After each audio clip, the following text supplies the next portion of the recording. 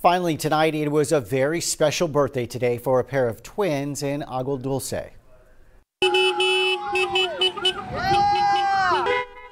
Jesus and Jesusa Salinas turned 91 today, or 91 years old, and to celebrate, their family and several residents, along with area first responders, held a birthday parade for them. Family members, despite having to change plans because of the COVID 19 pandemic, say it didn't ruin the celebration. Every year, every year we would have a big birthday party for them. Uh, every year, uh, and you know, have our shirts designed, our cakes, and and this time it was kind of different, but it was still big. It was perfect. Jesus' daughter tells us that they're happy to celebrate another year with them and look forward to next year's big celebration.